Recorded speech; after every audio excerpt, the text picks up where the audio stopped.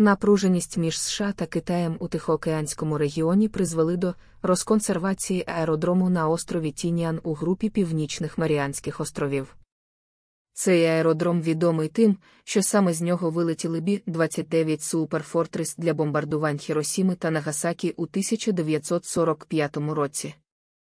Початково цей великий аеродром Вестфілд використовувався для звичайних бомбардувань літаками 58-го бомбардувального крила американських повітряних сил.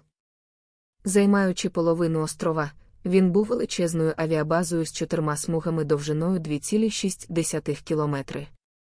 У 1946 році після військової експлуатації цей аеродром став цивільним та пізніше перетворився на туристичний об'єкт. А згодом просто почав заростати джунглями.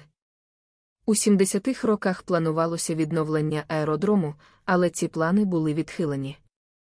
Проте, зараз, здається, історія повертається, і згідно зі звітом видання Stars and Stripes Міноборони США, Сполучені Штати Америки розпочали чистку аеродрому від джунглів для відновлення Вестфілд.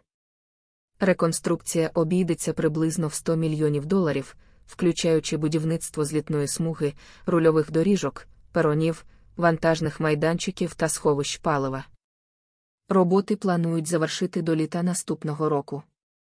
Це частина більшої програми модернізації авіабаз США в західній частині Тихого океану, яка також включає відновлення бази на Гуамі.